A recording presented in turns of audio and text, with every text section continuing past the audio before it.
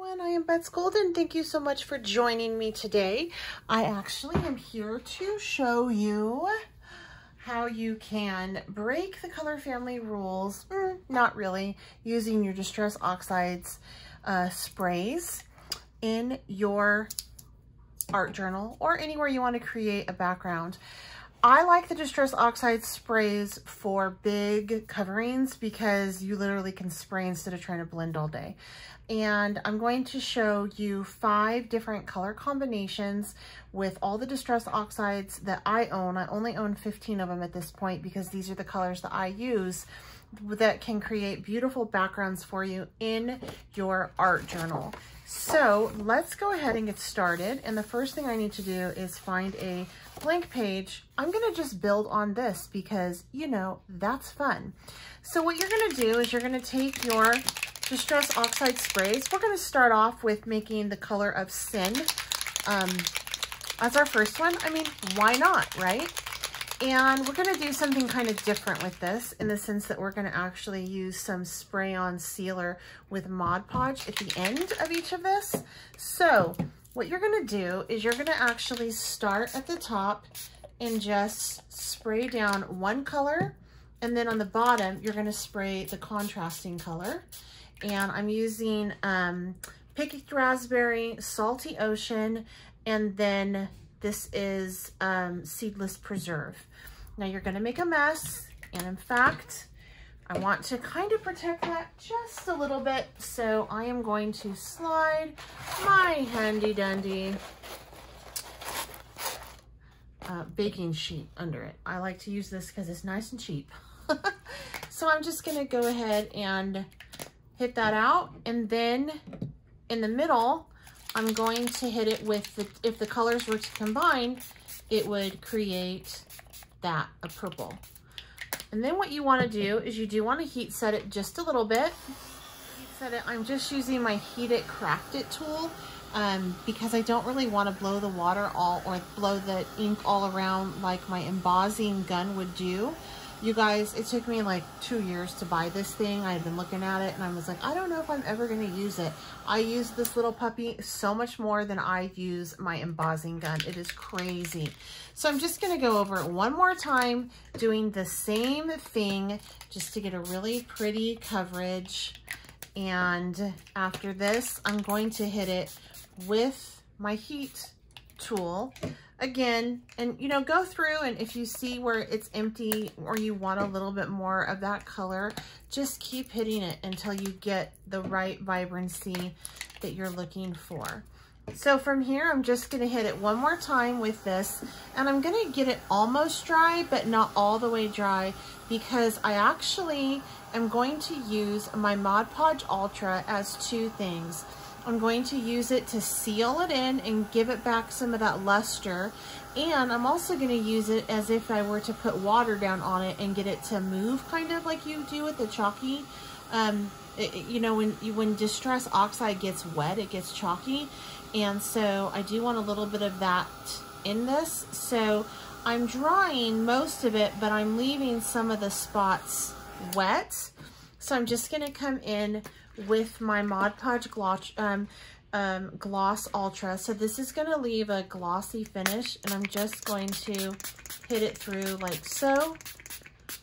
And that is going to make it all move and seal it in so I am free to work on top of it. And look at that interact with the, the Distress Oxide. I don't know if you can see it moving, but it's really, really pretty. And it's just interacting and just leaving a beautiful finish. So I'm gonna go ahead and heat set this and then we'll move on to our next color combination. And that it's like, can you believe that that was with Distress Oxides? If you guys don't remember, Distress Oxides tend to do something more like that, where it's a beautiful chalky finish, super matte. But when you throw your uh, gloss on top of it, your ultra gloss, it seals it in so that it's permanent. You're not gonna move it around any and it makes it glossy and just beautiful. This is my dream right here. This is what I love. I love that beautiful glossy vibrancy and the Mod Podge does that on top of this. So let's go ahead and move on to another page. Always make sure your page is dry because especially when using this, because this is a all-in-one glue and sealer, so it will attach itself to another page. So I'm just gonna just move right here to my next blank page in my album. Go ahead and just slip this under here. And this time I'm gonna be using Squeeze Lemonade Twisted Citron, and Mermaid Lagoon. And the reason why I can use these op opposing colors per se in my art journal is because I know that when they combine, they create a pretty secondary color. Um, they're not, I know that they are complementary, even though they're in the opposite families, if that makes any sense. Okay, so again, first thing I'm gonna lay out is my Squeeze Lemonade. And then I'm going to lay out my Mermaid Lagoon. And then I'm gonna lay out my Twisted Citron right in the middle. I'm going to heat it, get it set up, I should go ahead and just hit it one more time with those same colors. So I'm gonna do Squeeze Lemonade. And this one, I'm really gonna make sure that I, I get the coverage that I want. And then I'm going to do Mermaid Lagoon.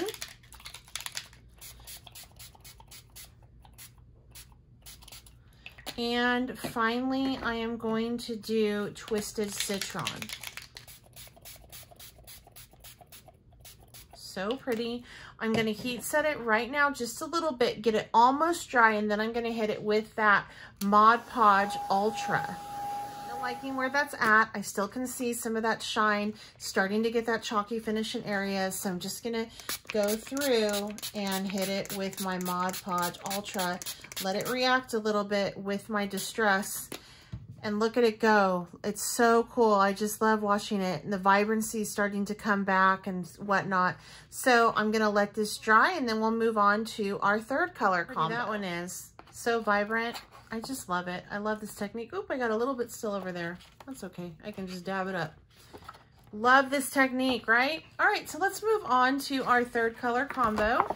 That's dry. And I'm just picking up and going on to the, the next blank sheet that I got here, which is gonna be right down here, like so. And for this color combo, we are going to do uh, Worn Lipstick our color of sin again, Wilted Violet, and Blueprint Sketch. Now, if you followed along or um, you, you, if you know what color of sin is, tell me in the comment section. Tell me right now, write down, what does that mean? Color of sin. Let's see if you can get it figured out. I know you can do it because if you've been watching me, you know what the color of sin is and why it's called the color of sin, I should say. Okay, so Worn Lipstick is going to go right up here. And then our next one down is going to be blue uh, print sketch on the bottom there because these two colors will make the purple, which will go in the middle. And then in the middle, we're going to do that wilted violet. I'm going to heat well set for that first layers. I'm going to go in with Worn Lipstick one more time. Make sure I really get that on nice and good. Go in with my blueprint sketch right there. And then finally hit it one more time with my Wilted Violet.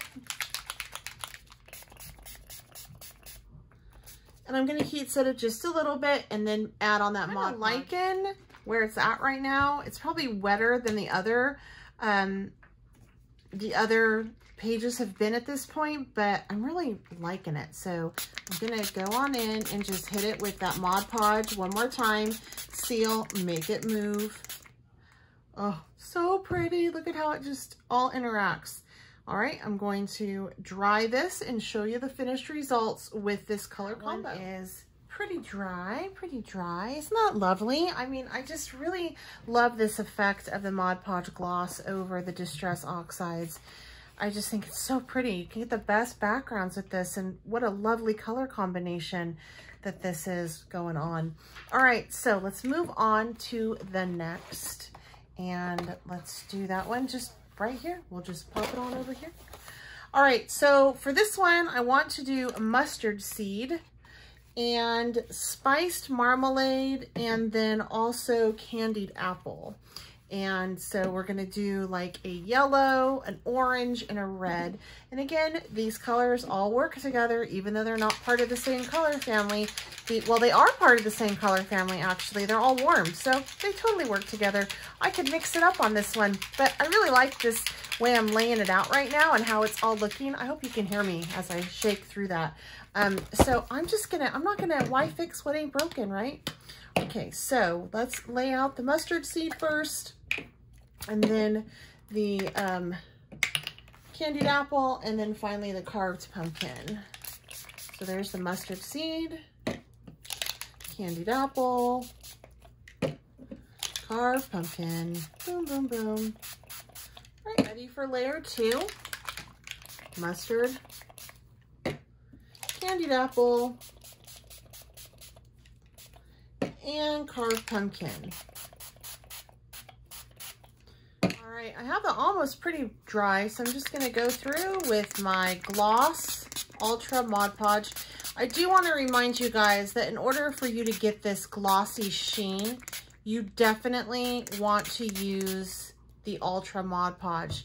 And I am really loading this up. Um, you do not need to use as much as I am using by any means of imagination um, you know, I tend to go big or go home. And so um, that's, that's kind of how I operate.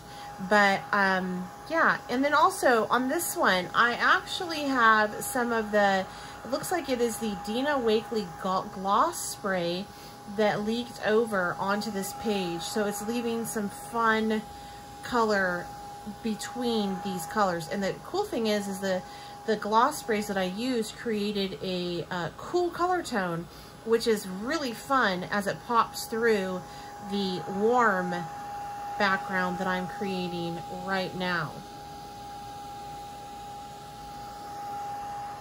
This is just so pretty. And I just love how the Mod Podge Ultra acts as um, an you know, something to move around the wet ink still. And then it also seals it in and gives it that vibrant shine at that. Isn't that just beautiful? You guys ready for your last one?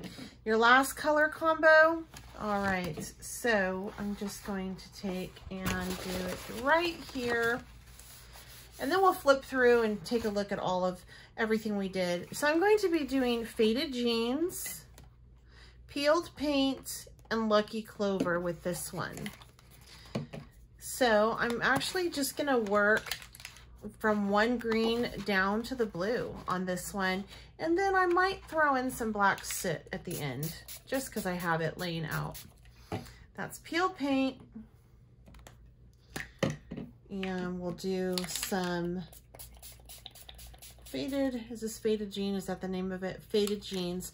And the reason why I like to do it from this and not work my way down is because um, I just like the way that it lays a little bit better. Sometimes if you work from one down, you get too much of an overlay and one the usually the color in the middle just becomes like the rest of the colors. So like it just blends too much. And by doing the top first, the bottom, and then the middle, it allows the each color to kind of shine through. Ready for layer two I'm gonna go back just like I've been doing, just repeating that.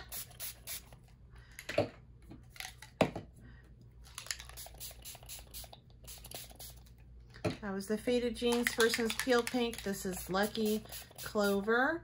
And then from here, um, I'm gonna dry it a little bit and then I'm gonna throw in some black soot just because I have it out and I think it might be kind of fun to have it play with these colors. And then once I throw that on, dry it a little bit, I'll go ahead and add in that Mod Podge Ultra.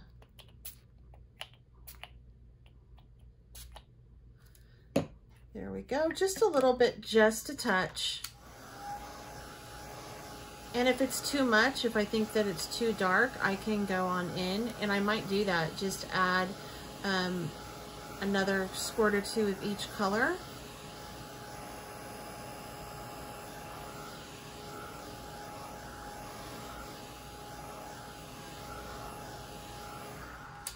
So I'm gonna just go ahead and add that and then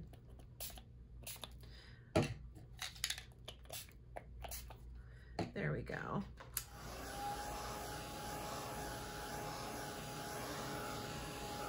And then I really want to just see this move. It's pretty wet around with the Mod Podge. And again, you know, I like to really cover it and get it to move like so. And it's fun just to let it move around before you try to dry it. But as you can tell, it's like all the colors get super vibrant and so pretty as we let it set up. I just love this little technique that I created and gets so fun. All right, let me dry it. We'll How show you. That one turned out so awesome. All right, I'm gonna clean up my workspace just for a minute and flip the book and we'll go through and take a look at each of these a little bit more. Guys, this created some beautiful backgrounds. I am so, I am just like in awe of this. Um, yeah, these, can you believe that Distress Oxide can end up looking like this? Isn't that just beautiful? So this is the first one that we did with um, the pink and then like the purple and then the seedless or the blue and the seedless preserve. So pretty.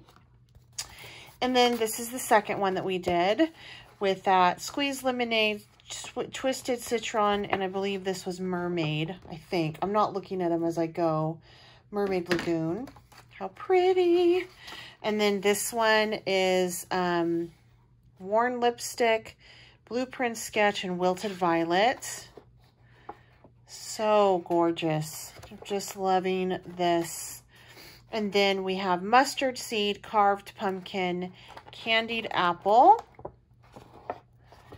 And then last but not least, Peeled Paint, Lucky Clover, Faded Jeans with a little bit of that black soot. So why don't you tell me which color combination is your favorite? Also, if you haven't subscribed to my channel, I certainly hope that you consider doing so. If you have any questions or comments, leave them in the comment section down below, and I will do my best to find an answer for you. If I don't know, I always try to answer. And if you enjoyed this video, please give it a thumbs up. And if you have anyone who is a Distress Oxide fan, share this video because this is a new way to use it. And who would have thought that you could create shine and vibrancy with Distress Oxides. Until next time, I'm Betz Golden. Happy crafting.